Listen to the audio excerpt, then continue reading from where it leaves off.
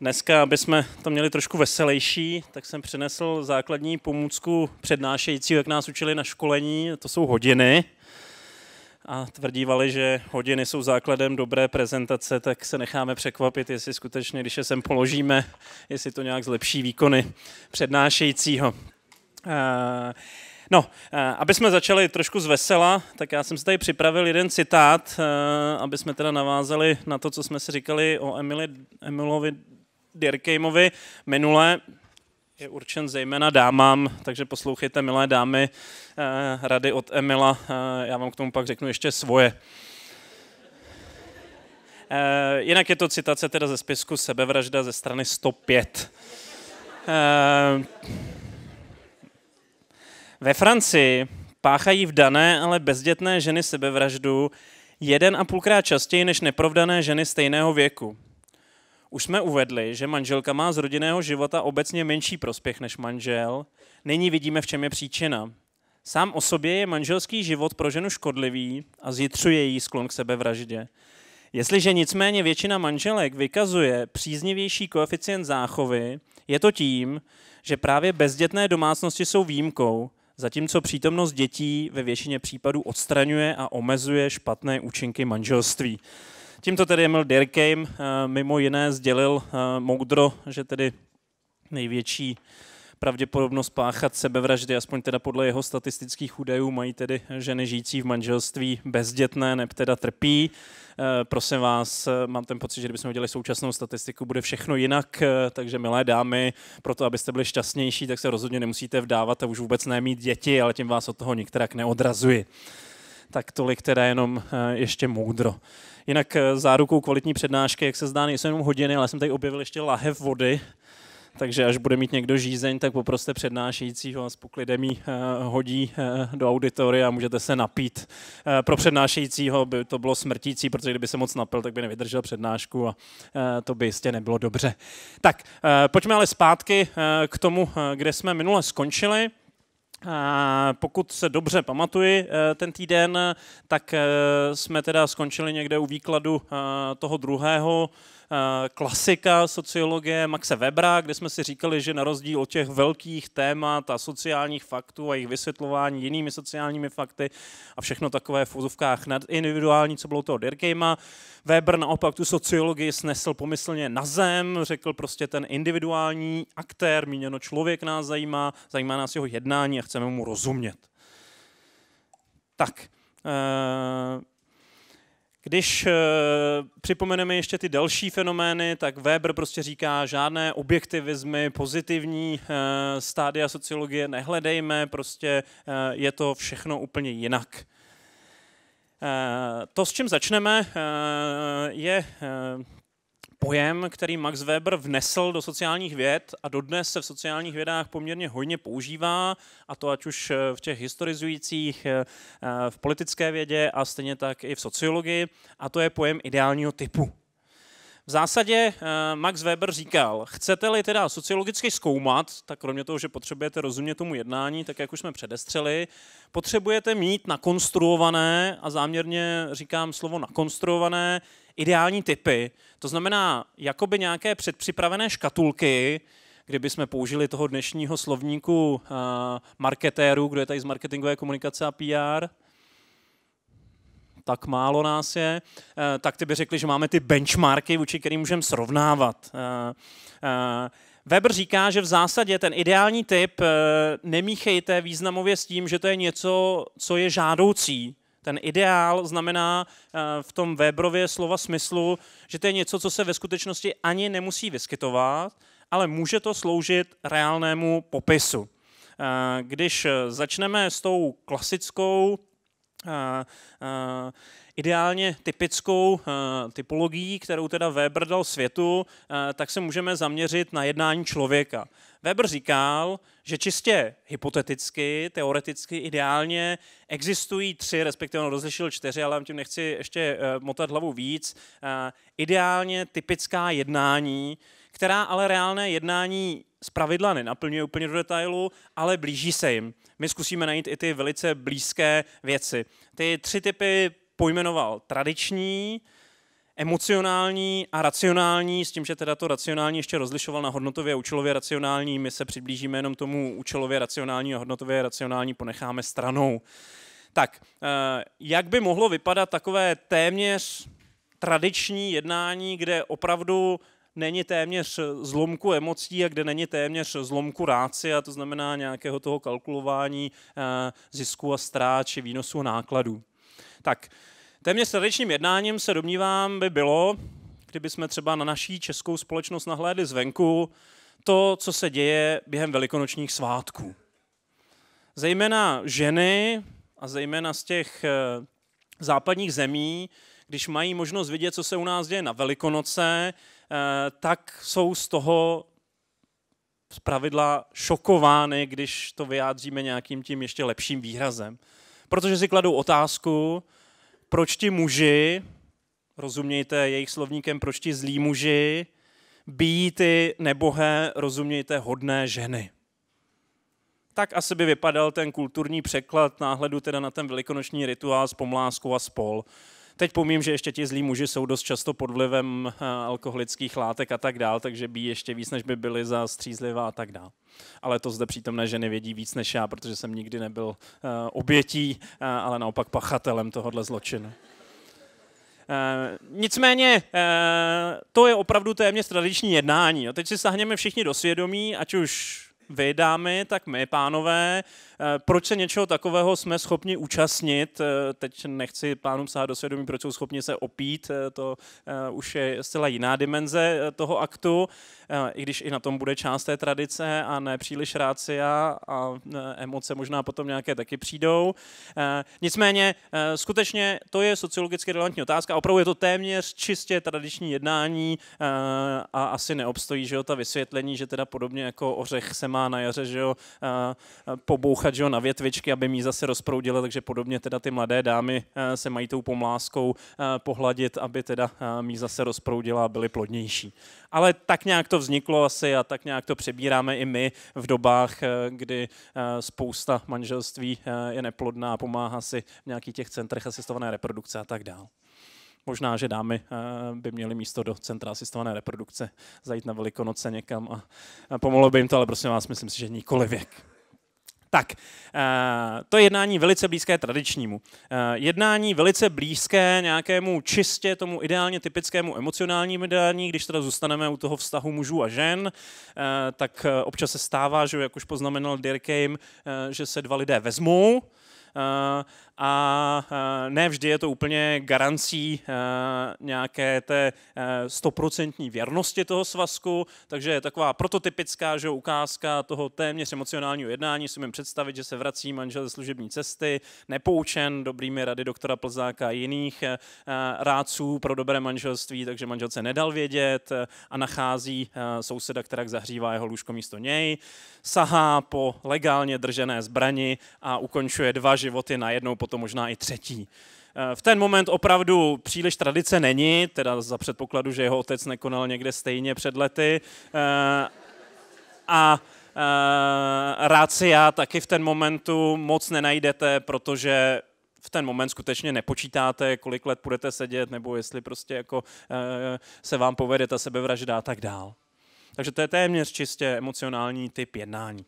No a teď eh, racionální jednání, striktně racionální jednání by například mohlo vypadat tak, že když vidíme, jak tady třímáte ty vaše eh, technologické hračky v mnohých rukou, tak eh, dejme tomu, že začnete vybírat mobilní telefon. A teď opravdu, když budete chtít vybírat ryze racionálně, tak by to vypadalo asi následovně.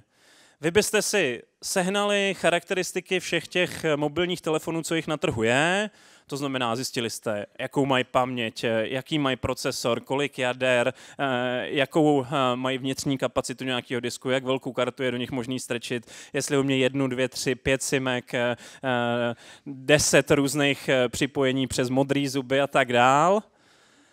A tohle byste si všechno dali do tabulky a použili jste něco, co v ekonomii se nazývá vicekriteriální rozhodování, to znamená vš- přes všechny tyhle ty charakteristiky uh, byste si uh, vedli nějaký nadroviny, jak by řekli ekonomové, který by řízeli nějaký ten vícerozměrný prostor a vybrali jste telefon, který prostě vzhledem třeba k nějakému vašemu rozpočtovému omezení je ten nejlepší. A teď ruku na srdce, kdo takhle vybírá? Asi nikdo.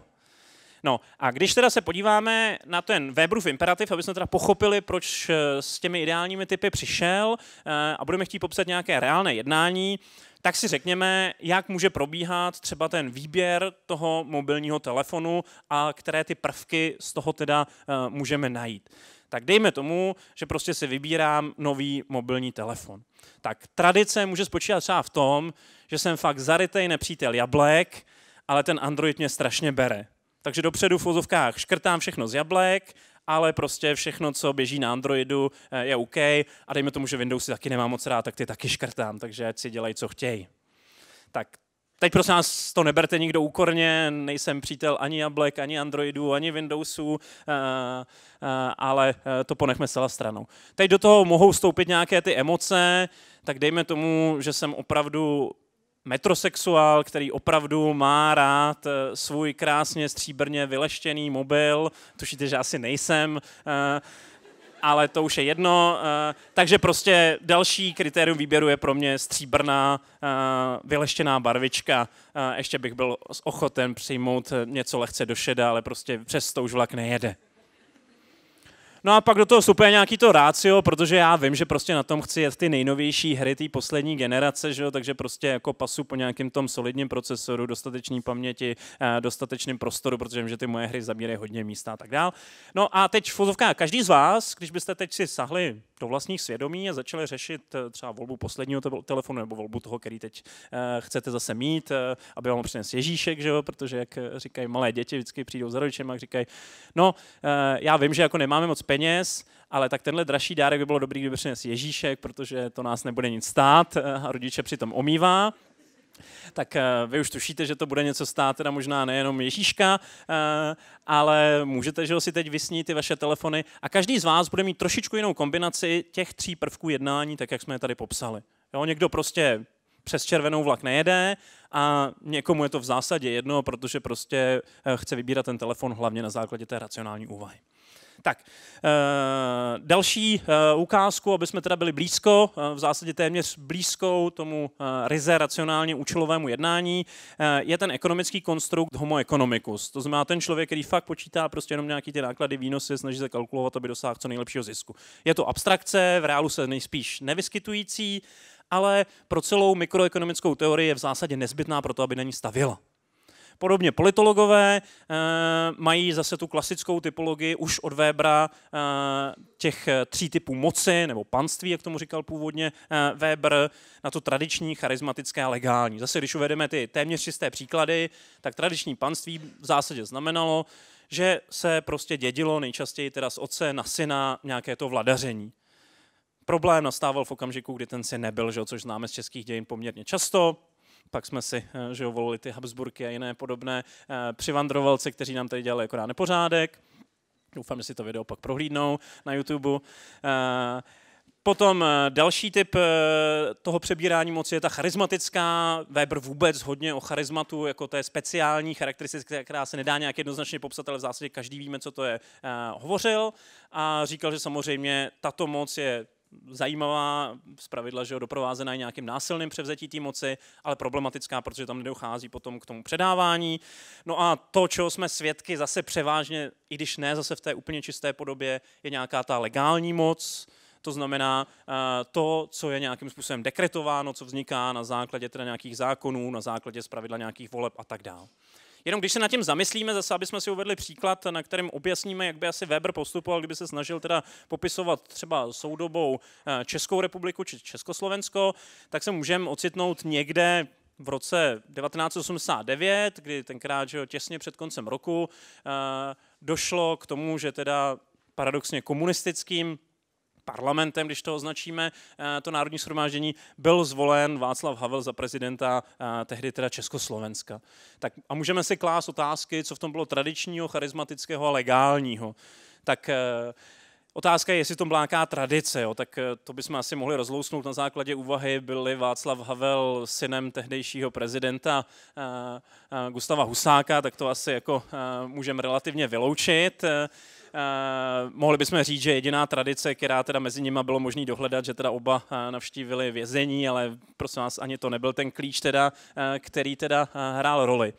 Tak, charisma asi byste řekli ano? Dá se považovat za tradiční to jednání té sněmovny, která ho zvolila vlastně ne na základě svého názoru, ale že byla zvyklá volit podle toho, jaký kdo přikázal? Já si nejsem úplně jist, eh, protože se ještě přece jenom pamatuju dokonce i ten proces, že jsem tenkrát vysílal v televizi, eh, byť tehdy jsem ještě mnoho rozumu nepobral, ale viděl jsem ten přenos, eh, dokonce pak i opakovaně, že úplně dostali to nakázáno. A nám se domluvil s tím Marianem ale určitě Adamec prostě si mohl a tak dál, prostě jako bylo to předomluvený, ale musím říct, že do poslední chvíle, když se vzpomenu jako i na ty historické okolnosti, nebylo úplně jisto, jak to dopadne si troufnu říct. To, že ty lidi tak projevili, a to bychom se museli fakt každý jednotlivě zeptat. Ale jo, něco z tradice tam určitě bude, ale prostě nebude to to úplně hlavní. Určitě dramatický vliv byl charizmatu Václava Havla, byť o něm můžeme kdo chce pochybovat, ale prostě v tu dobu opravdu to byla prostě vůči síla uh, občanského fóra, v zásadě všem v občanském fóru minimálně no, s jednou výjimkou Václava Klauze, uh, bylo jasno, uh, že má být i prezidentem. A ten proces, když se na to podíváme, proběhl ryze legálně, protože proběh podle tehdy platné ústavy z roku 60, podle tehdy eh, platných zákonů, všechno proběhlo tak, jak mělo, dokonce teda eh, nad fuzovkách povinnost, eh, to bylo zcela veřejné a dokonce i veřejné, takže to všichni viděli v televizi. Kdybychom se podívali na další volby, třeba prezidenta už potom České republiky, tak si troufnu říct, že už toho charizmatu třeba v případě Václava Havla ubývá, legality naopak možná ještě přibylo a té tradice taky ubývá. No a uh, radši nechám bez komentáře pro vaši vlastní úvahu, jak probíhaly poslední uh, volby, ale určitě mi řeknete, že i náš současný prezident má mnoho charizmatu, které oslovuje potenciální voliče, byť vy s tím třeba nesouhlasíte, máte s tím problém, ale přiznejme, že to i tak je. Podotýkám, že samozřejmě ten proces nějak nespochybňuji, byl legální. Takže různé kombinace bychom skutečně mohli najít i třeba na těch našich volbách a na, čemkoliv jiném, co souvisí s politickou mocí.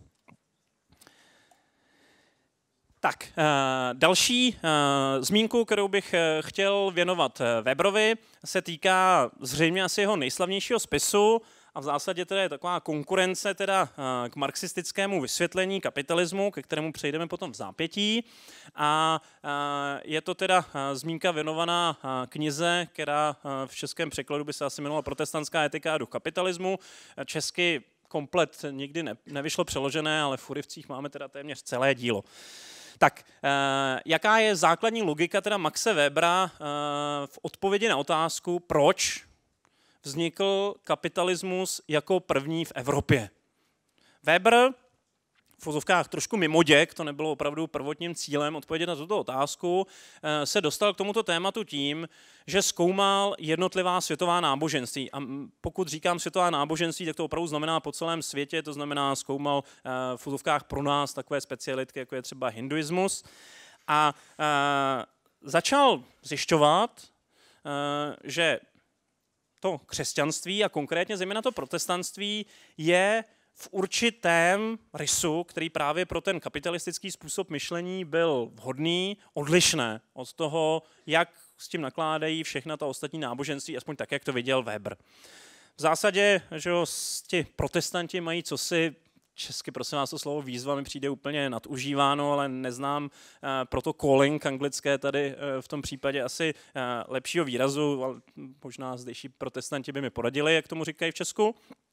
A v zásadě teda protestant, ať už je to jak to je, i když ví, že dopředu je všechno v fotovkách rozdáno, jestli teda půjde nahoru nebo dolů, když to obrazně výrazníme, tak prostě maká. A kromě toho, že je zvyklý pracovat a v zásadě nějak to nespochybňuje, tak ještě navíc šetří je asketický, když to vyjádříme. A teď prosím vás vůbec nechci teď tematizovat, zda současní protestanti jsou asketičtí a jestli vůbec teda to odpovídá původním voláním Lutera a spol, to ponechme stranou. Eh, Weber viděl svou matku a v úzovkách měl jasno díky tomu, že viděl ten zbor a tak dál. No a díky tomu v zásadě, že teda je tady nějaká ta slovy Marxe, dokonce ideologie toho, že máte pracovat a ideálně teda moc nerozhazovat, tak říká Weber, se v zásadě něco našetří, nakumulují se prostředky, zase kdybychom použili třeba toho slovníku od Marxe, No a díky tomu je možné rozběhnout nějaké to kapitalistické podnikání. Takhle asi vypadá zhruba ta základní teze o té protestantské etice a duchu kapitalismu. V zásadě ta myšlenka, která je u Webera teda nosná a která se samozřejmě tematizuje a rozporuje do dnešních dob, je, že na počátku v vozovkách je nějaká ta myšlenka, něco, co je součástí kultury, nějaká ta idea, a ta v zásadě potom ovlivňuje ty materiální poměry lidí. Protýkám, je to zcela opačná teze než u Marxe, který teda uh, to vidí uh, zcela jinak. No, a poslední fenomén, o kterém se jenom krátce zmíníme, eh, který teda Weber tematizoval hodně a my se k němu ještě potom dostaneme potom v další přednášce, až budeme popisovat to, jak nazýváme současné společnosti a co je pro ně typické, tak Weber teda byl ten první autor, který dost výrazně sdělil světu, že svět se racionalizuje, probíhá proces, kterému říkáme racionalizace, a k té racionalizaci přispívají právě zejména kapitalismus a byrokracie, s tím, že podotýkám, pokud se vám na zádech eh, jeví husí kůže, když se řekne byrokracie, tak u Webra nic takového nehledejte. My se tomu pak ještě budeme věnovat samostatné přednášce ke konci semestru. Byrokracii nahlížel jako na naprosto funkční fenomén, který je potřebný v těch soudobých společnostech. Nicméně i tady upozorňoval na to, že až v úzovkách ta racionalizace pokročí a pokročí, tak se nadějeme asi možná eh, nepříjemných momentů. Dokonce hovořil o takzvané železné kleci racionality, která nás začne objímat. A teď samozřejmě zase vám dávám na zvážení ve volném čase, jestli teda už vás objímá, nebo eh, teprve to přijde za pár let.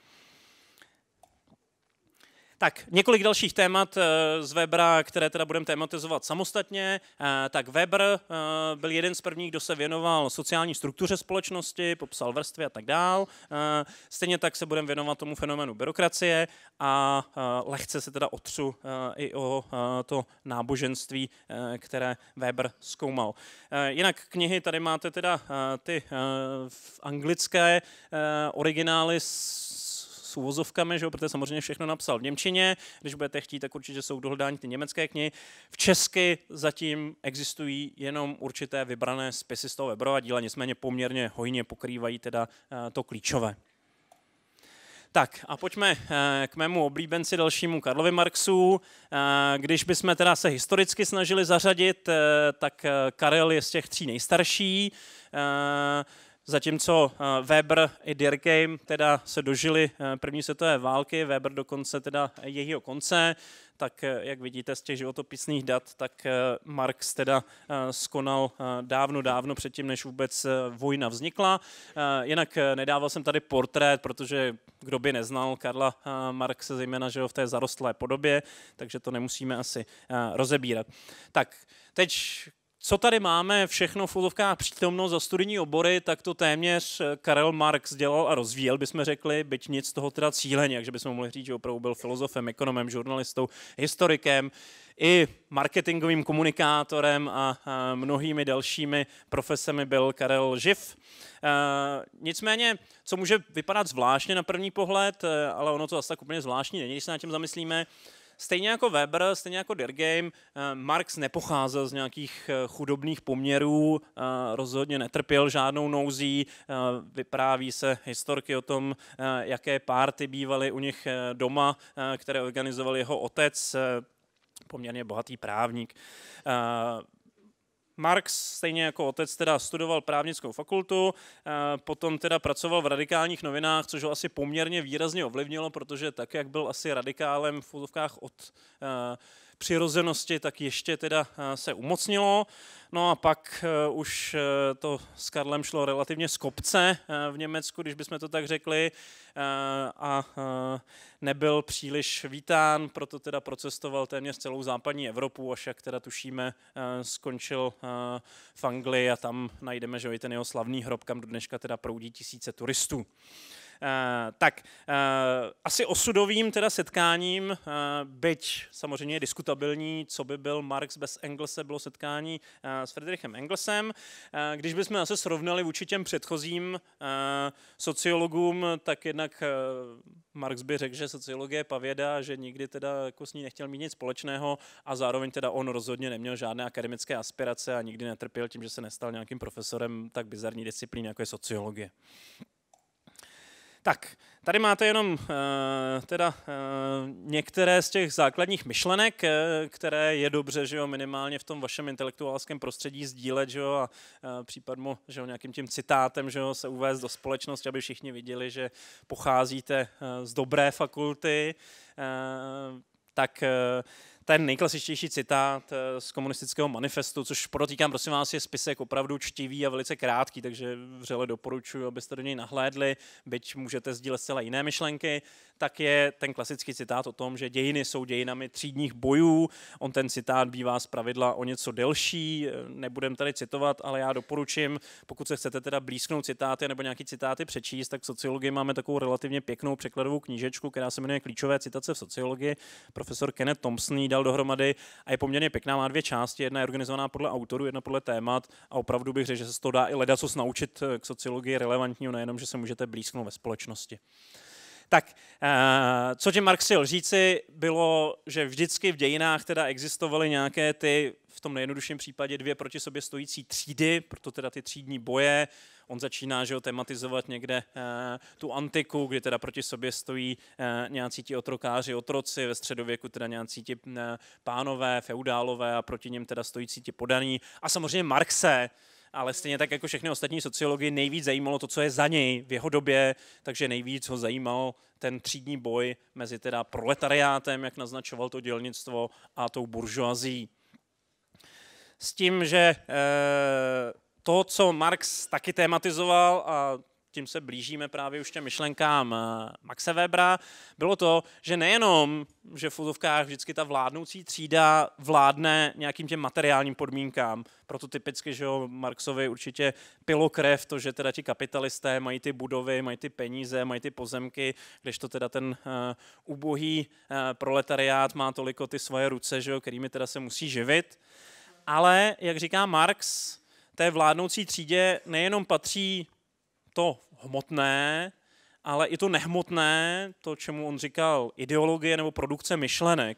A právě skrz tu ideologii, skrz nějakou tu vládnoucí vlastně myšlenku, dokáže poměrně umě, slovníkem teda Karla Marxe, eh, ta vládnoucí třída zakrýt té ovládané třídě, rozumějte těch zlí kapitalisté, těm hodným proletářům, eh, tu skutečnost, že je vlastně ovládají. To byla v zásadě že jo, ta uh, hlavní myšlenka. No a Marx že jo, poměrně jednoduše říkal, tak tenhle ten závoj, že jo, tu nevědomost, tu ideologii prostě propíchneme, uděláme nějakou tu revoluci a všichni se pak budeme mít dobře v té nové formě, uh, které říkal bestřídní společnost. Eh, další eh, součást toho pojmosloví, zase kterým byste se měli blízknout někde na těch intelektuálských večírcích, eh, je ta dvojice pojmů základná nadstavba. Prosím vás, tady jenom bych upozornil na to, že moderní anglofilové teda už neuznávají tuhle dvojčlenku, přiloženou si myslím poměrně dobře a doslovně z Němčiny, ale přišli s tím eh, překladem z angličtiny a říkají superstruktura, infrastruktura, tak prosím vás, ctěme teda ty výrazy, které teda byly přeložené byť za totáče, ale po mém soudu teda z Němčiny dobře. Eh, to, co říká Marx, je teda, že je to klíčové, o co se opírá celá společnost, je právě ta základna, to je ta ekonomika, nějaký ten výrobní způsob, jak on tomu říká.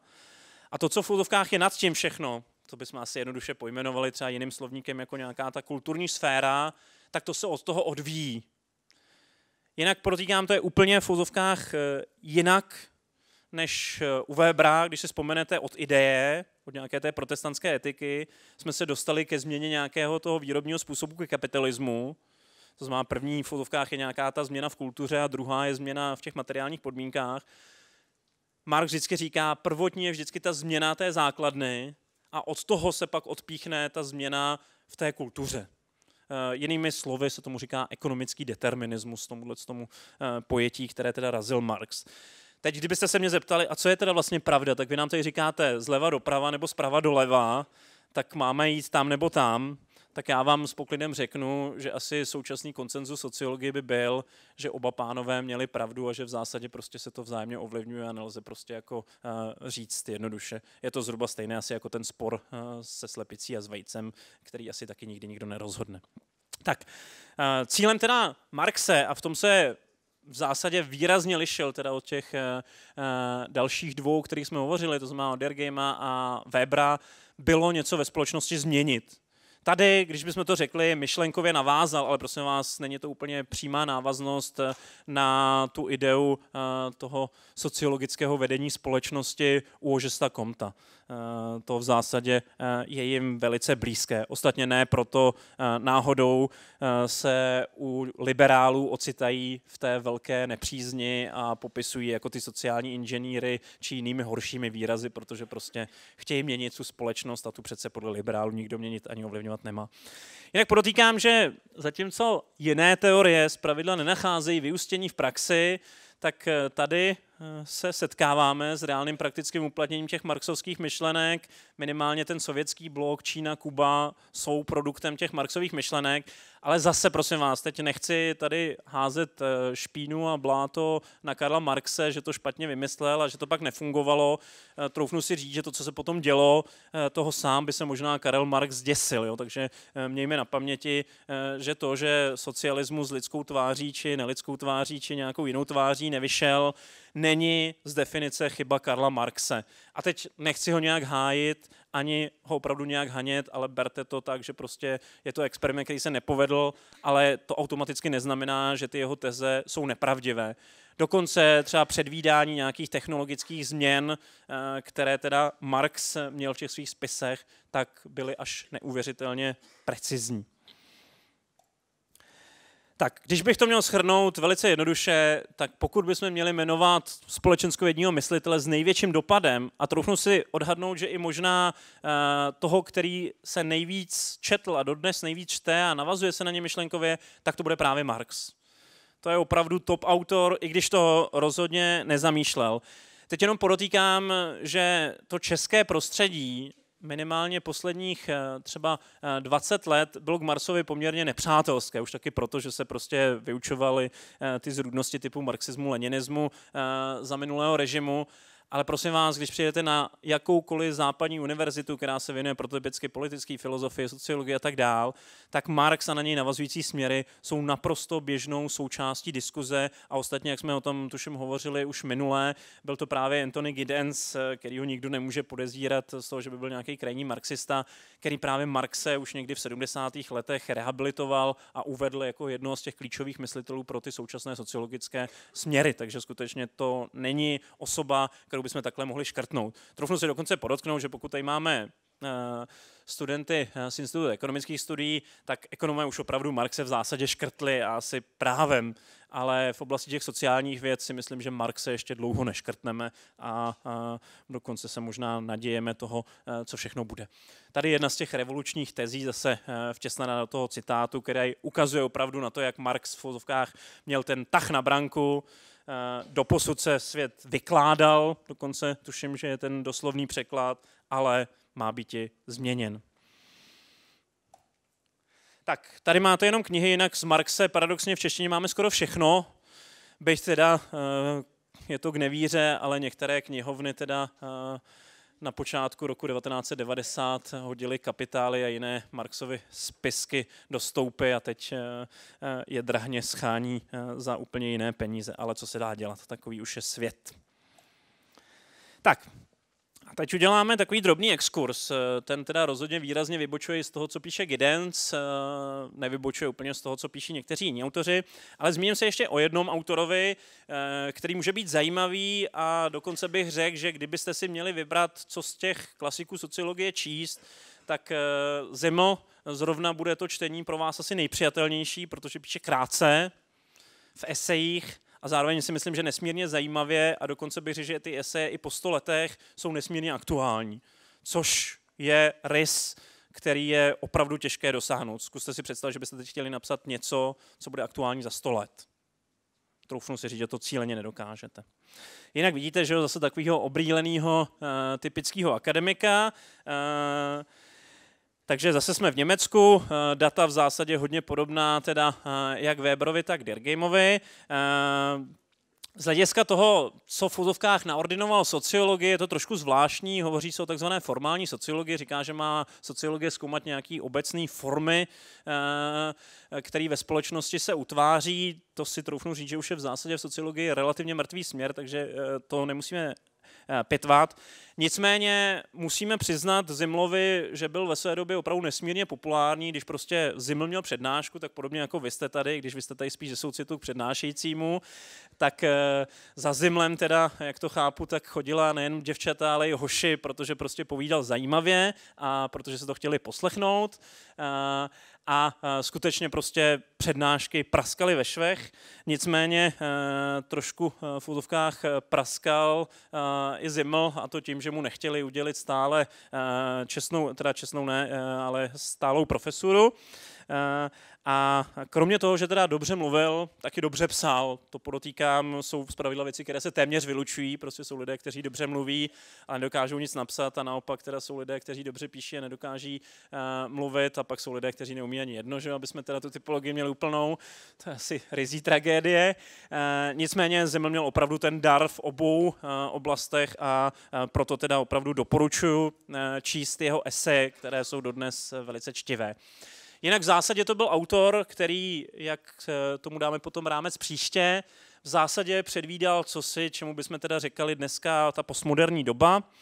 Eh, a když se podíváme na ta základní témata, pak tam mám ještě v té prezentaci nějaké to schéma, které jsem, jak to tak, že pedagogové dělají, vykradl z učebnice, eh, tak ta témata opravdu vypadají poměrně moderně. Jedním z fenoménů, kterému věnoval opravdu obrovskou knihu uh, Filozofie peněz, jsou peníze. Uh, další velké téma, kterému se věnoval uh, Ziml, bylo velkoměstský život a jeho teda dopady na člověka, ale věnoval se i drobounkým tématům v těch svých esejích, krásná esej o módě, studu, o cizinci, o flirtu a tak dál. V zásadě to, co dělal dnešním slovníkem, nazýváme sociologie všedního dne opravdu takové ty drobnosti, které v fotovkách ale tvoří náš život, tak ty nenechávali zimla chladným a ty on dokázal opravdu velice pečlivě popsat a vypíchnout. Tak, tady máte teda to základní schéma, které ukazuje teda e, to propojení těch dvou nejklíčovějších témat, ty jsou nahoře a dole, e, to velkoměsto a ty peníze a vidíte, že teda pro to velkoměsto jeden z těch příznaků teda v fotovkách, to je ten nový rys, že, na který upozorňoval, že se to teda změnilo proti tomu dřívějšímu vesnickému životu, je ta všudy přítomná uh, přítomnost těch lidí, které neznáme, zrychlený rytmus. Protýkám, kdyby Zeml žil dneska, tak by zíral, jak dobře diagnostikoval dobu uh, už tehdy. Uh, a uvolnění vazeb. Všechno, co z toho teda plyne, ale to podotýkám, bude částečně možná ovlivněno i zimlovým teda naladěním, eh, byl teda eh, nějaký ten vnitřní eh, pocit neurastenie, s tím, že vidíte, že ze spoda přes tu peněžní ekonomiku, teda spotřebu, potom se protýká další z velkých témat, a to sice moda a styl. Oni se teda zejména ten velkoměstský člověk snaží a vidíte, že teda potom to v nás nechává dvě téměř nesměřitelné potřeby, a to sice potřebu odlišení se, ale zároveň potřebu nápodoby a s tím si musíme v v tom našem běžném životě nějakým způsobem poradit. Tak, eh, v češtině jinak máme eh, přeloženou kompletu filozofii peněz a pak máme v češtině jeden z výběrů esejí, eh, který navíc je opatřen dodatkem profesora Petruska, z nějž je i toto schéma, které jsem tady přetiskoval, takže opravdu vřele doporučuji, stojí za čtení. Tak, stručné schrnutí, když se vrátíme zpátky k té svaté trojici, jak se občas nazývají, eh, což teda je zejména zásluhou Antony Giddence, eh, tak eh, ti tři autoři v zásadě opravdu založili základní proudy sociologického myšlení, jak o tom budeme dál hovořit. Ty tři navazující témata a paradigmata, jak o tom budeme hovořit, které asi nejblíž přebírám od profesora Kellera, ale v zásadě podobně je to u Gidence, tak můžeme označit jako funkcionalismus, interakcionismus a konfliktní směr, eh, což odpovídá tomu, že teda eh, ty funkce jsou už traktované u Dergema, konflikt samozřejmě u Marxe a ta interakce a důležitost porozumění jednání je traktovaná u Webera. Jinak ale tito autoři se v zásadě dost výrazně liší v odpovědích na ty klíčové sociologické otázky. První, jestli sociologie v úzovkách má být tam někde nahoře, v té neproniknutelné houštině té velké společnosti a nazdírat na nějaké ty sociální fakty eh, či konflikty mezi třídami a jiná podobná témata, jak to klasici předefinovali, anebo jestli v úzovkách se má sníst na tu úroveň těch běžných, prostých lidí a klásit ty otázky eh, jako Weber po porozumění toho jednotlivého jednání. Další velký nesoulad mezi klasiky je v tom, jestli tím vládnoucím elementem ve společnosti je tedy nějaká ta schoda na těch základních principech, hodnotách, normách, konsenzus, nebo naopak nesoulad, nějaký ten konflikt je to, co v úzovkách pohání společnost dopředu. No a konflikt v úzovkách mezi pojetím teda sociologickým výkladu vztahu kultury a ekonomiky najdeme u Webera a Marxe, jak jsme to traktovali. To znamená, ptáme se teda, eh, co z čeho vzniklo, zda eh, kultura ovlivňuje ekonomiku nebo obráceně. Tak, a to je eh, konec první lekce a z vesela teda můžeme přejít k lekci druhé. A ta začíná stručným teda pojednáním o tom, jakáže teda paradigmata v sociologii máme a co to vůbec ta paradigmata jsou. Tak eh, začneme zase, že aby to bylo takové to intelektuálské milie, eh, tím teda, co to vůbec to paradigma je, kdo s tím přišel a proč se s tím tak sociologie potýká. Eh, Protýkám, že některé disciplíny tohle vůbec neřeší a v zásadě asi dělají dobře, nicméně sociologie se tomu hodně věnuje, tak aspoň krátce. Začněme s tím, co teda pronesl už někdy v 50. letech minulého století filozof vědy Thomas Kuhn uh, v jeho knize, kterou i do češtiny teda uh, jsme doslovně přeložili jako struktura vědeckých revolucí. V zásadě řekl, že věda se v úzovkách vždycky nějak dělá a to, jak se v úzovkách dělá, tak to označujeme jako paradigma. To v úzovkách dělání v sobě skrývá to, že věci používají nějaký slovník, nějaký metody, nějakou optiku, zaměřují se na určitý témata a tak dál. Vždycky je prostě nějaký takový jednotící rámec, který je v té vědě obsažený a ten v fotovkách funguje. Když se zpátky bychom se otřeli, jako minule už jsme tady že jo, nastínili, že ty uh, tři Newtonovy zákony síly, že jo, teď tady jako nebudeme pitvat, tak prostě jedno z těch paradigmat třeba ve fyzice by byly právě uh, ty tři zákony síly potažmo to, čemu bychom řekli Newtonovský paradigma. Prostě Newton dal poměrně jasný rámec a podle toho skoro celá ta vědecká komunita fyziků zkoumala. Eh, podobně v psychologii třeba psychoanalýza je dalším takovým asi paradigmatem. Ekonomové, zejména zde přítomní, kteří neusnou eh, bez toho, aniž by si dali knihu Miltona Friedmana eh, pod polštářek, jsou monetaristé. Eh, stejně tak ty, co si dávají zase eh, Keynese, že jo, pod polštářek, jsou Keynesiánci a tak dál. Takže každá ta věda má nějaké takové jednotící přístupy. A Kuhn říkal, demonstroval to právě na příkladu té fyziky, že čas od času se stává, že tenhle ten nějaký jednotný vzorec v té vědě, to vládnoucí paradigma, začne někdo nějak naleptávat a začne říkat, že to možná úplně neplatí. Když se vrátíme zpátky k té fyzice, tak tím bláznivým teda naleptávačem byl Albert Einstein, který začal říkat, že třeba sčítání těch rychlostí, když se rychlosti blíží rychlosti světla neplatí a že teda bychom měli přijmout jeho teorii relativity. Teď protýkám, eh, že samozřejmě tím učinil spoustu lidí nešťastným, protože eh, se pak eh, na středních školách učí ta teorie relativity a spoustu lidí teda téměř v dergamovském stylu teda podléhá anomii fyzikální a chce páchat sebevraždu, ale tím se nenechte nějak zlámat. Paradoxně teda ale se podařilo najít několik dalších snílků, kteří s Einsteinem souhlasili a podařilo se vlastně přesvědčit, že teda to je opravdu důležitý, že když se blížíte těm rychlostem světla, že se to všechno mění, že už ty rychlosti nesčíte, že někdy víc než rychlost světla nedosáhnete. A světe div se, newtonovské paradigma bylo v rámci téhle vědecké revoluce, jak by tomu řekl Kuhn, nahrazeno paradigmatem relativistickým, chcete Einsteinovým. No a to, co říká Kuhn, co je trošku nelichotivé pro sociologii, ale i mnohé další e, ty společenské vědy, je, že v zásadě vždycky teda je nějaké to vládnoucí paradigma, pak přijde ta revoluce, přijde nové paradigma, ale vždycky je tady jenom jedno to paradigma. To znamená, že Kuhn říká, že vědy, pokud mají být vědami, jsou monoparadigmatické. Sociální vědy, sociologii nevýmaje, dokonce bych řekl, že sociologie je téměř řářným příkladem, ale většinou toto neumí a mají několik těch paradigmat vedle sebe. Protýkám, že když si přečteme tu Kunovu knihu pořádně, tak si vlastně tam přečteme, že teda díky tomu sociologie a ostatní sociální vědy nejsou vědy, takže bychom fakultu sociálních věd museli přejmenovat na fakultu sociálních nevěd, eh, předpokládám. Eh, a nebo jak handlivé jazyky, že občas říkají, že jsme fakulta simulující vědu, i to by byl možná příznak, který by nám potom byl přišit. Ale sociální věci poměrně rychle vybruslily z téhle z té šlamastiky a říkají, že kromě těch monoparadigmatických věd jsou i vědy multiparadigmatické a to jsou prostě ty sociální. Jenom prosím vás podotýkám, abyste nepodléhali zase depresím, že teda vlastně jste se přihlásili na fakultu sociálních věd a teď vám vyučující tvrdí, že vlastně to vědy nejsou, eh, tak buďte poměrně s poklidem, protože když se podíváte do současné fyziky, tak světe, div se zjistíme, že už ani v té fyzice není to jednovládnoucí paradigma, takže můžeme být relativně v klidu a říkat si, že nejsme možná tak daleko jako ty fyzici, ale jednou tam budeme a je to všechno krásné a jsme multiparadigmatičtí. Tak a teď jak je to s těmi paradigmaty v sociologii? Aby to nebylo jednoduché, tak sociologové jsou tací blázni, že se dokonce ani neschodnou na tom, kolik jich je a jaká jsou.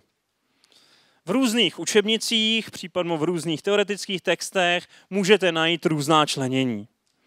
Takže například jinou klasifikaci najdeme u jednoho z klasiků světové sociologie Ritzera, v češtině přetlumočeného v Jandorkově učebnici, Jinou klasiku najdeme u Gidence, eh, mírně upravený Giddens je třeba eh, v učebnici profesora Kellera a tak dál. Tak eh, my z toho ale musíme vybruslit, že vám teď nemůžu jako tady předestřít 10 klasifikací a říct vám, tak abyste viděli, co je věda, tak tohle se všechno naučte na spaměť a počkejte u zkoušky, já se zeptám na klasifikaci podle tohohle blázna a pak podle tohohle, tak eh, to nemám eh, zapotřebí, takže my v zásadě budeme zhruba sledovat tu linii Gidencovskou, mírně teda říznutou eh, klasifikací profesora Kellera, protože tam je tak nějak jako je bytostně nejbližší z toho, jak nahlížím sociologii já. To, co je v závorce, to v úzovkách doplňuje Keller oproti tomu, co teda eh, není v závorce, co píše Giddens. Takže jedním z těch základních směrů, či chcete-li paradigmat, je funkcionalismus někdy s přívlastkem strukturální. Eh, dvě klíčové osobnosti, o něž se teda lehce otřeme, Talcott Parsons a Robert King Merton. Potom eh, symbolický interakcionismus a jemu blízké směry, zejména teda George Herbert Mead a Herbert Blammer, eh, jako ti zastánci eh, interakcionismu a blízké směry. Zmíníme se lehce o eh, Irvingu Goffmanovi a Haroldu Garfinklovi. Pak konfliktní teorie, ať už eh, ji reprezentují ti autoři nemarxističtí, jako třeba Mills a Darendorf, tak Wallerstein, který teda navazuje myšlenkově eh, na Marxe.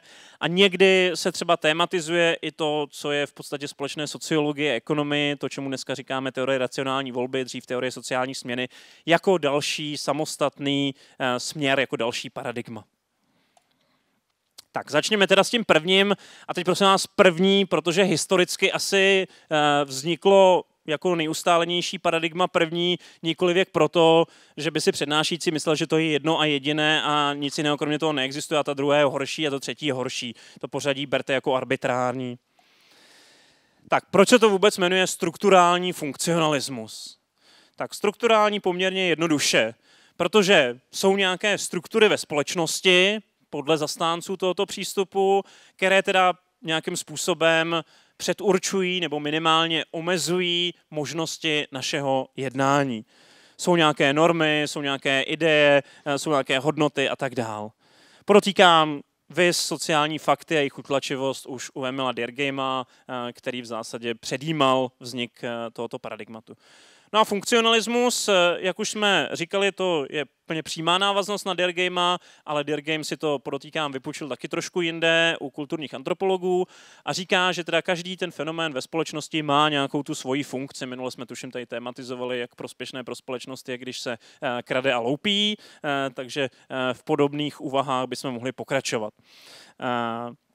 Podotýkám, že další skladebnou částí toho strukturálního funkcionalismu, aspoň teda v tom prvotním pojetí Talcota Parsonse, jak se o tom za chviličku ještě budeme bavit, eh, byla ta základní představa, že ve společnosti existuje celospolečenský konsenzus ohledně základních eh, hodnot, eh, které teda jsou pro společnost nosné. Žádné velké konflikty, ale konsenzus nad hodnotami je to, co v zásadě společnost drží pohromadě. Eh, mimochodem, když se nad tím zamyslíte, tak tato teze v zásadě je taková hodně konzervativní teze a v zásadě naznačuje, že teda ta společnost nemá moc tendencí k vývoji což ostatně taky začali brzo uh, někteří autoři spochybňovat. Tak, když bychom se teda podívali na toho prvního autora, tak uh, to je harvardský profesor sociologie Talcott Parsons, životopisná data zase vidíte, netřeba si pamatovat, jen tušit, že teda uh, je to zhruba minulé století. A takové v fotovkách jeho základní skladebné schéma teda je nějaké to agil schéma, které se traktuje ve všech učebnicích a i my ho nevynecháme, abyste viděli krásné ty čtyřpůlní tabulky, které eh, Parson splnil do těch svých eh, objemných knih, povídání o funkcích a, a tvorba, čeho si čemu říkal velká teorie.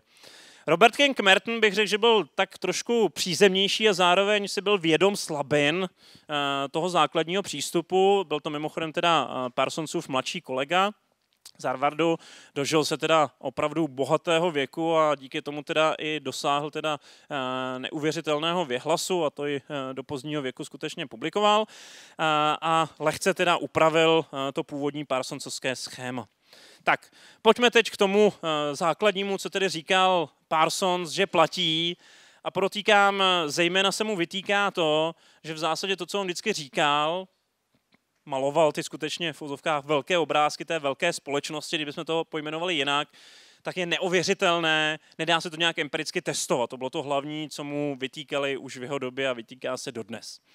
Tak to základní agil schéma tvrdí, že každá společnost napříč časem i prostorem má čtyři, říkejme tomu, základní potřeby. A teď prosím vás, pokud vám sousloví společenská potřeba nesedí, tak samozřejmě vám mohu rozumět, ale prostě pro Parsonce je to terminus technicus a nelze to obejít. Ty čtyři potřeby jsou adaptovat se teda na nějaký vnější prostředí, dosahovat nějakých cílů, Třetí potřeba je potřeba integrace a dodržování vzorců je potřeba čtvrtá. Vždycky v závorce máte uh, ty názvy v angličtině, z nich šplyne i z těch prvních písmenek těch anglických uh, výrazů, proč to schéma se označuje zpravidla jako agil schéma. Jo, takže to nemá nic společného s nějakou agilitou a tak dál, ale prostě jsou to první písmena těch uh, slovíček.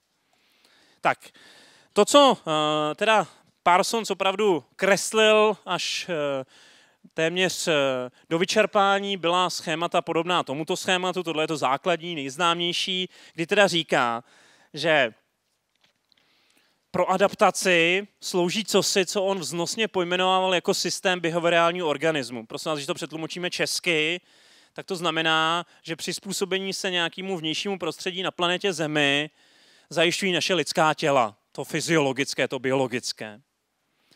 G, neboli nějaký to dosahování cílů v té systémové parsonsovské řeči zajišťuje psychický systém. To znamená něco, co máme v té hlavě, nějaká ta naše psychika, to duševno. I, jdeme v fotovkách o tu úroveň ještě výš, už jdeme od těch jedinců, takže to I, eh, to, co zajišťuje teda nějakou tu integraci ve společnosti, že se tady všichni prostě nepostřílíme a, a nepobijeme, a, eh, tak eh, zajišťuje, co si čemu říká sociální systém. Zase, kdybychom to řekli po česku, srozumitelněji, tak to znamená to, že jsou nějaké předefinované, jak tomu sociologii říkáme, společenské role, a ty dodržujeme. Role znamená očekávané chování, které plyne z určité pozice. Tak jak už jsme to tady minulé traktovali, tak já jsem že jo, vyprávěl o té vaší roli a kolega se tady cítil dotčen, eh, že teda sem chodíte jenom teda se ohřát v zimě a eh, předstírat zájem, tak eh, to pevně doufám, že ne, když jste přišli znovu. Ale když se podíváte třeba na moji roli, že jo, tak aby v fotovkách ta přednáška mohla fungovat, ta přednáška v fotovkách je vlastně že jo, takový uh, malý model společnosti, tak třeba mojí rolí učitele v ní je předepsáno zhruba to, že sem dorazím někdy cca na tu půl jednou, kdy se očekává, že přijdu. Eh, v ideálním případě, že přijdu střízliv, eh, jakž takž oděn, eh, jsem tam s nějakou vědomostí, dokonce se možná očekává, že teda ještě vám nahraju nějakou tu prezentaci a pak, že teda tady těch zhruba 80 minut teda vydržím a teď nemyslím jako, že jenom přežiju a na konci teda s posledním vzdechem tady padnu, ale že zároveň teda těch 80 minut bude docházet k nějakému předávání. Jo? A to, že v fuzovkách takhle jsou ty role vlastně napříč společností předepsány, eh, tak díky tomu je ta společnost vlastně možná. To je to, co říká ten Parsons. No a pak je něco, co umožňuje to dlouhodobé přežití společnosti, eh, to udržování vzorců, jak eh, tomu říká Parsons, a to je to, co on označuje jako kulturní systém. Když bychom to řekli úplně jednoduše česky, tak to jsou prostě ty normy, hodnoty a ideje, které ve společnosti fungují a dlouhodobě reprodukují vlastně tu společnost prostě už od desatera, eh, když tady vidím před kolegou to římské právo, eh, tak tušíme, že prostě nezabiješ, nepokradeš a tak dále, jsou ty maximy, které do dneška dodržujeme. Samozřejmě vy můžete si klást postmoderní otázku, jestli to vůbec ještě je smysluplné, jestli to už nemáme dávno zrušit, ale prosím vás, mějte na paměti, že díky tomuto společnost pár století nebo dokonce pár tisíciletí vydržela. Tak nerušme všechno, co se osvědčilo. Tak, eh, když eh, se vrhneme dál, tak eh, Parsons nejenom, že rozkreslil tohle základní schéma, který opravdu je hierarchicky od fulovkách nějakého to našeho fyzického těla až po nějakou tu velkou společnost, kterou nikdy nenahlídeme, typu té kultury nebo toho systému těch společenských rolí, ale říká, že dokonce i každý z těch systémů se dá rozložit zase na subsystémy, který plní ty jednotlivé prvky toho AGIL. Takže já tady za chviličku vezmu ten pravý dolní roh, to znamená ten eh, sociální systém a po vzoru Parsonse ho rozložím zase na to AGIL eh, a ukážeme si, který teda subsystém, jak by on tomu řekl, plní ty jednotlivé role.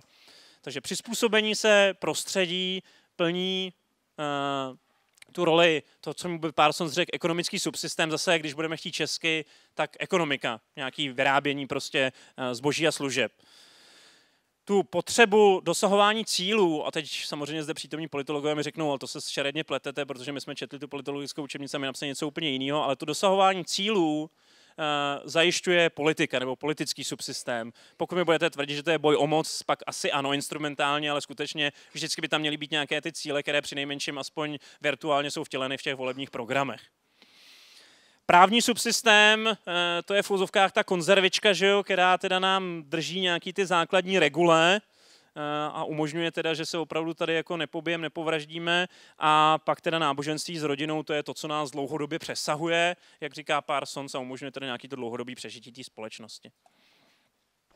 Tak, Robert King Merton navázal teda na ty Parsonsovské myšlenky, ale snažil se lehce upravit eh, ty základní pravdy říká, ano, každý fenomén může mít svou funkci, ale ne všechno a pro všechny navíc musí být nezbytně pozitivní.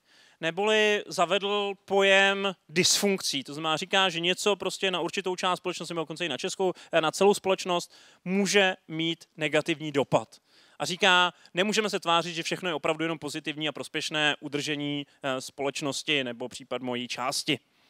Daleko ještě zajímavější a řekl bych sociologicky relevantnější podnět eh, vnesl eh, Merton do toho, když se bavíme o těch funkcích a tom funkcionálním pojetí společnosti, jaké ty funkce máme u těch eh, společností a jednotlivých fenoménů zkoumat. Říká, pokud chcete být opravdu jako nesociologi, říkat něco, co je samozřejmé, každému zřejmé, tak zkoumejte to, čemu říkáme manifestní funkce. Třeba když já bych se vás teď zeptal, jaká je funkce školy, tak byste mi řekli, že vzdělávat. Já bych vám řekl, no dobře, a to ví každý. Tak jako to se tady bavíme teda tak na úrovni prostě jako základní školy, ale nepostoupili jsme že, na tu akademickou úroveň. Ale máme zkoumat něco, co v úzovkách je skryto, co jsou ty latentní funkce. To je ta sociologická úloha dva příklady, eh, na kterých to můžeme demonstrovat a samozřejmě zvažte, nakolik jsou dobře či špatně, nakolik jsou eh, teda vhodné. Eh, začnu školou, jo, to je daleko asi lepší. Tak jaká je funkce vysoké školy? ta zjevná. Tak vy mi řeknete předávat to moudro, udržovat teda e, nějakou tu vědu a tak dál. Tak to je všechno pěkný, že to budou takový ty pěkný výklady. Ale teď si řekněme zcela upřímně, přiznám se, že všichni kolegové, kteří pak tohle video uvidí, tak po mně i kamenem hodí možná, že možná, že kdyby ta vysoká škola nebyla, to se relativně dobře jako odmyslí, tak by spousta z těch akademiků mělo problém se v reálném životě uživit. Takže můžeme tu vysokou školu vzít jako takovou zaopatřovnu pro lidi, kteří by jinak asi těžko hledali práci částečně. Jo? A teď bejme do vlastních řád. Že? Eh, podobně, když se podíváme na základní školu a řekneme si, co je funkcí základní školy, tak nějaký vzdělávání a tak dál, ale zkuste přijít za nějakým učitelem, eh, který učí tak sedmáky, osmáky, devátáky na těch běžných základních školách a zeptat se ho, co je základním cílem teda jeho. A myslím si, že už téměř by vám řekl eh, tu latentní funkci, že jeho cílem je udržet, on by možná se nezdržel ostřejšího výrazu, tu zvěř na jednom místě, aby někde před školou nebo v jejich nejbližším okolí neudělala nějaký šílenosti. Jo, představte si teď, že by opravdu škola nebyla a že ta armáda, když to přeženu, těch eh, dětí teda ve věku dneska 14 a 16, než ještě víc, jo, když ještě přihodí nějakou přípravnou třídu a opakování ročníku, eh, kterých by bylo řádově 300 tisíc, by se vyskytla v ulicích. Česká policie má, tuším, v Bratru 40 tisíc eh, příslušníků a příslušnic, z nich zhruba 20 tisíc bude eh, sedět jenom někde na židličkách v teplých kancelářích. Takže si představte těch 300 tisíc proti 20 tisíců, byť teda ozbrojeného policejního sboru. Eh, poměrně nerovný souboj. Husiti dokázali vítězit s daleko menšími početními převahami, bych si troufnul říct. Takže asi hrůzná myšlenka. No a když jsme u té armády, že jo, nebo byli jsme u té policie, tak půjdeme k armádě, že jo, tak myslím si, že i u armády možná latentní funkcí může být i podobně jako u toho našeho akademického sboru, teda zaměstnávat osoby jinak nezaměstnatelné a relativně dobře přidržovat při životě. A protýkám celá společnost toho profitu, jo, protože ti lidé by byli někde na pracovním úřadě, pobírali sociální dávky a tak dál. Takhle to všechno krásně funguje. Tak, další fenomén, uh, na něž upozornil Merton, uh, který v zásadě myšlenkově navazuje na to, co už jsme uvedli, je fenomén tzv. nezamýšlených důsledků lidského jednání nebo nezamýšlených důsledků racionálního lidského jednání, dokonce bychom mohli říct. V zásadě Merton říká, když hodně lidí se bude snažit nějak rozumně jednat, tak důsledky, které to budou mít, mohou být zatraceně iracionální. Klasickým příkladem, který ale Merton ještě nemohl pořádně znát, je dopravní zácpa. Prostě vy, když ráno že jo, vyrážíte do školy a říkáte si, jestli dneska teda tím Mercedesem nebo BMW, pak teda uh, se rozmyslíte, protože víte, že teď holky letějí třeba prostě na miny, tak sednete do miny, tak uh, uh, nakrásně, že jo, všichni teda sedneme do těch našich miny, protože víme, že to dneska frčí, tak eh, jsem do Jinonic, než kvůli teda na Holár nebo do Opletalky, nikdo z nás nedojede včas tak, jak předjímal, protože prostě všichni budeme v těch mini v dopravní zácpě a to nebylo naším původním úmyslem. Jo? Naším původním úmyslem bylo tím mini ohromit spolužačku, eh, kolegyni a tak dál. A prosím vás, já nevím, jestli frčí mini, to se omlouvám eh, za tenhle příklad. Takže neměla to být reklama rozhodně. Tak, Stejně tak eh, to, že, že jo, dámy, eh, i když dneska i pánové, ale to už naštěstí bez těch dopadů, eh, se začaly zkrášlovat že jo, těmi různými spreji, začali jsme strkat že jo, nějaký ty freony do těch ledniček, že jo, aby jsme měli chladnější šampaňský a pivo, tak má ty zrůdné důsledky, že tam někde nad námi že jo, se stenčila ta ozonová vrstvička, No a pak, že jo, když teda vyběhneme ven, že jo, a chceme prostě zajet tu na Korfu, že jo, tu do Egypta, tu teda jenom na Máchovo jezero se vyslunit, tak se vracíme s hrůzou, že s nám kromě eh, pár teda pigmentů vyrašila i nějaká rakovinka kůže a eh, že za to teda si můžeme sami. No a e, to jsou nezamýšlené důsledky lidského jednání. Jo. Rozhodně žádná dáma se neskrášlovala, ani žádný ten inženýr, který vymýšlel e, ty freonové pohony, nezamýšlel způsobovat sobě či jiným rakovinu kůže. Aspoň teda pevně věřím. Poslední fenomén, eh, a tím se rozloučíme, protože čas je nemilosrdný, až to má člověk před sebou ještě nemilosrdnější, eh, tak eh, jsou sebenaplňující se proroctví. Merton tady navazuje na Tomasův teorem, v angličtině ho tam máte, v češtině by zhruba zněl, že pokud teda člověk definuje situace jako reálné, stávají se reálné ve svých důsledcích, jak se to do češtiny standardně překládá. A to, co teda říká Merton, a on v tom svém esej o sebe naplňující se proroctví přiznává, že to není originálně jeho myšlenka, tak říká, že opravdu pokud lidé podlehnou, když to vyjádříme takhle obrazně, definici situace, jak to označuje Tomás, pak skutečně to, co původně bylo absolutně nemyslitelné, se může ve svých důsledcích stát. Klasický příklad, který uvádí Merton, ale příklad jehož svědky jsme byli i my za našich životů, eh, jsou ty takzvané rany na banky. Představte si, že dneska v hlavním zpravodajství nejmenované televizní stanice, aby jsme skončili s tím reklamním blokem, eh, se objeví zpráva, že banka XY je těsně před krachem. Ta banka se může těšit jako nejlepšímu zdraví, ale dá se předpokládat, že okamžitě teda ty středatelé, kteří už eh, pochopili, co je internet banking, začnou přelejvat peníze z téhle banky, ty, co to nepochopili, přiběhnou ráno na pobočku, uh, utvoří šílený fronty a odhadují, že tak zhruba v poledne ta banka jako teda ten krach vesele vyhlásí, protože nikdo nemá 100% hotovost, ale má samozřejmě uložený ty aktiva v nějakých dlouhodobějších uh, závazcích. Takže bez problémů. Eh, stejně tak jako eh, eh, máme ran na banky, tak můžeme použít ten příklad třeba pro neúspěch u zkoušky, proto prosím vás nechoďte na zkoušku s pocitem, že ji neuděláte a rozhodně se nepřipravujte na tu zkoušku s pocitem, že ji neuděláte, protože pak, jak tvrdí Merton, ji opravdu nejspíš neuděláte. Tak a poslední teda ještě, protože aspoň dvě minuty podle mých hodin zbývá, tak je Mertonovo poučení o tom, jak se má dělat sociologie. Merton říká, že to, co dělal Parsons, ty jeho myšlenky o čtyřech základních potřebách společnosti, o těch systémech a o tom, co všechno v té společnosti tak nějak je, to jsou takzvané velké teorie, které jsou empiricky neověřitelné a v zásadě díky tomu nevědecké, protože prostě když nemůžete něco empiricky ověřit, tak jako by to nebylo. Oproti tomu říká Merton, že pak je ta v podlaha sociologie a to, že děláte nějaké výzkumy, ale v zásadě nejsou vázané vůbec na žádné teoretické koncepty. To znamená jednotlivé nějaké empirické studie. A Merton říká, snažme se vejít někde mezi to, veme si nějaký fenomén, který je empiricky zkoumatelný, a tuhle je jenom součást, je to fakt jenom výsek společnosti, potom opravdu skrz nějaký výzkum zjistíme, jestli platí nebo neplatí, případně modifikujeme tu původní teorii. A Tomuto fenoménu říkáme teorie středního dosahu. Ty požadavky jsou jasné.